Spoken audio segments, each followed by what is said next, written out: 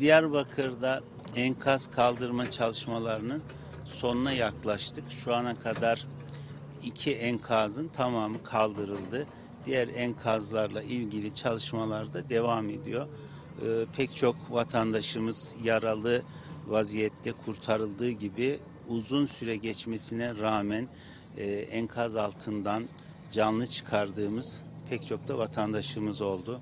Ee, tabii bundan sonraki süreçte de dileğimiz enkaz altında canlarımıza sağ salimen ulaşmaktır. Büyük bir titizlikle çalışmalar sürdürülmektedir. Öte yandan e, oturulamayacak derecede olan yıkılan binalarla ilgili de burada yaşayan vatandaşlarımızın barınma sorunlarını bundan sonra kalıcı konutlar yapılana kadar veyahut da başka tür çözümler üretilene kadar geçici barınma merkezleri Diyarbakır'da oluşturuyoruz. Bunlardan bir tanesi konteyner kent, bir diğeri çadır kent ve onun dışında da başka tedbirler de alıyoruz. Şimdi bugün burada e, kurulacak konteyner kentin alanını hep beraber gezdik.